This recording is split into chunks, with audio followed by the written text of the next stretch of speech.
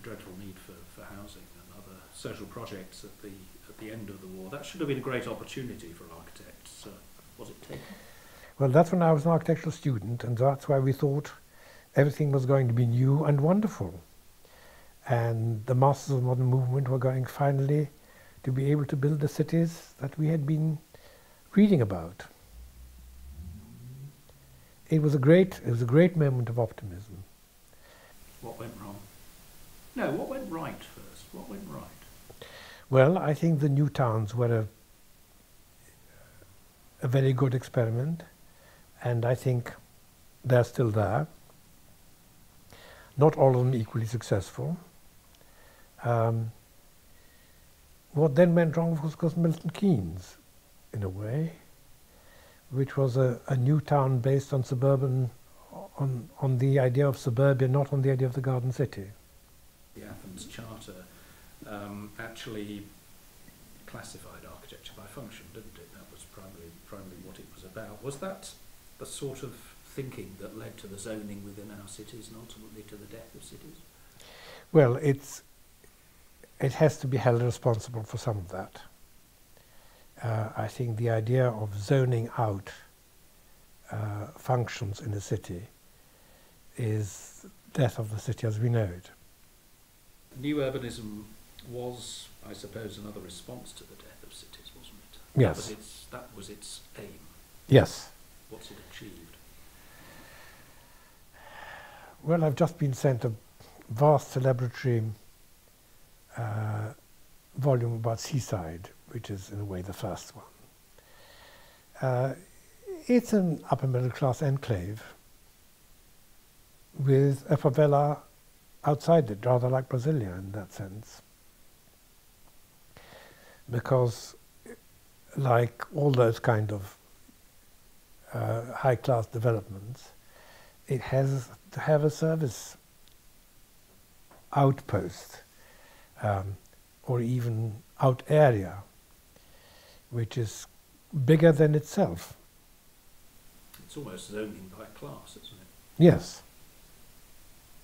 Why do you think Prince Charles is so keen on it? Well, it's not for me to comment on. No, please do. well, he thinks he can do it the um, the Garden City way. And I wish it well, but I don't think it's worked out that way. Is it, is it that it's too optimistic a view of? I think it was much too optimistic.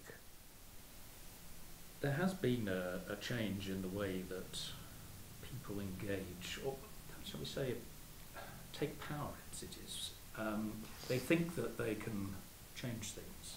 Um, but what we tend to get is community action becomes NIMBYism, in fact. Yes. It was. It worked very well in New York when Jane Jacobs took over the opposition to uh, Robert Moses. Robert Moses is going to arrive, as you know, the motorway through Washington Square, and they stopped it. It was a small-scale action. It was very successful. It energized the neighborhood. I lived there for a while and knew it, I know it quite well. Uh, it was a very successful action, but it doesn't seem to bear repetition, and you needed Jane Jacobs to energize local populations to do that. It sort of worked here with, um, with Covent Garden, didn't it? It worked in Covent Garden. And that was architect-led? That was architect-led. That was, was, was it because the criticism of, of NIMBYism is that it's against things, it's not for things. Yes. Do, do you see a positive aspect to it? Can it be positive?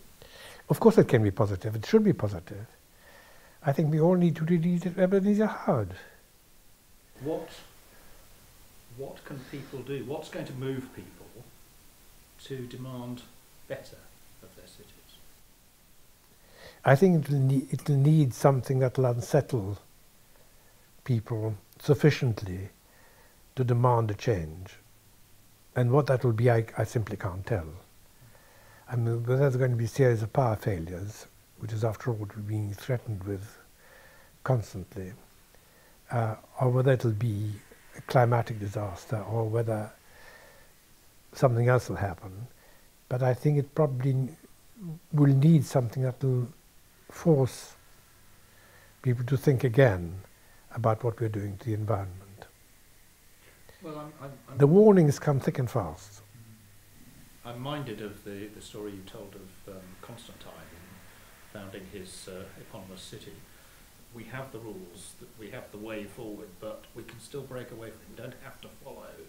Well, Constantine was being the new Romulus, and he was ploughing the edge of Constantinople according to the ancient pagan rite.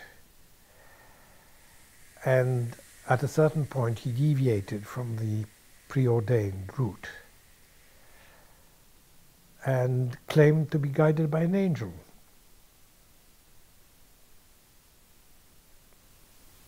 So we need an angel. We need an angel.